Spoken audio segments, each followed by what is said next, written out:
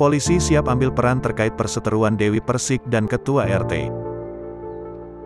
Pihak kepolisian menyediakan fasilitas dalam menindaklanjuti perseteruan Pak RT Malkan dan pedangdut Dewi Persik.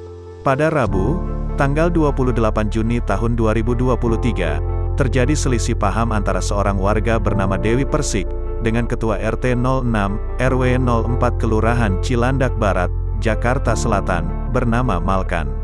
Dewi Persik mempersoalkan sapi kurban miliknya tidak boleh dititipkan di Masjid Babul Hoirot, Lebak Bulus, Jakarta Selatan. Pihak kepolisian menyediakan fasilitas untuk menindaklanjuti laporan dari masyarakat terkait kasus ini.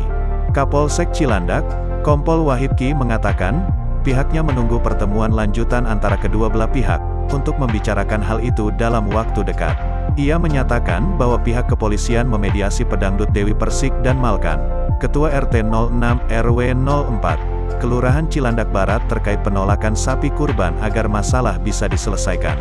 Mediasi terkait ketidaksepahaman antara pedangdut dan ketua RT itu digelar pada Kamis, tanggal 29 Juni tahun 2023, di Masjid Babul Hoirot, Lebak Bulus, Jakarta Selatan.